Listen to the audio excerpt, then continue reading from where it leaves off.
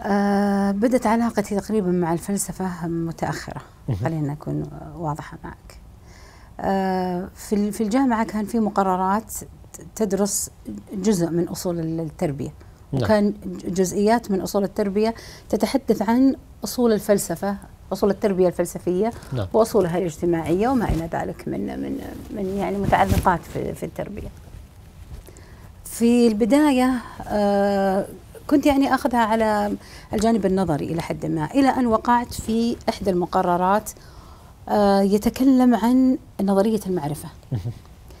بدأت في هذا المقرر أدخل في آه تفاصيل يعني خليني أقول لك لم في مناطق أو تفاصيل لم أدخل لها آه يعني سابقا.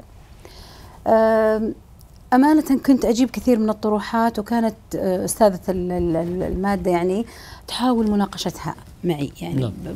ما كان في يعني آه، مثلا خليني أقول لك ما أقول رفض ما كان فيه يعني آه، ما كان في نقاط مش نقاط مشتركة فهذا الشيء جعلني أزيد من البحث وأزيد من أني أنا أبغى أثبت صحة ما توصلت إليه نعم. بشيء بطريقة أو بأخرى نعم.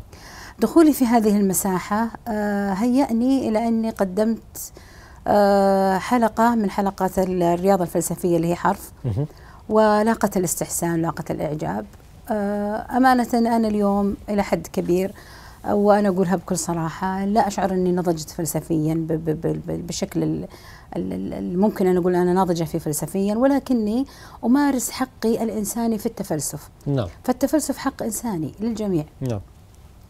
آه، أشعر أيضا من جانب آخر أن الفلسفة ليست بال بال بال بال بال بالطريقة اللي خلينا نقول آه، سبق وأن قرأت أنه كان في آه، مرحلة من المراحل كانوا الفلاسفة آه، يحرصون على انتقاء المصطلحات الصعبة والأشياء الغامضة حتى يجعلونها بعيدة المنال عن الجميع ولا يجعلون الخوض فيها مهيأ. خلينا نقول لكل من هب ودب أو لكل من أراد أن يخوض في هذا المجال.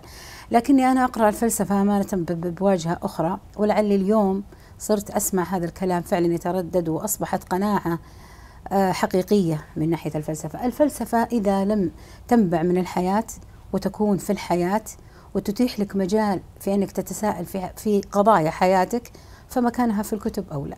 نعم. يعني ما وصل إليها الفلاسفة من نظريات ومن أمور عظيمة آه ومناحي مربكة حقيقة في, في الجوانب الفكرية.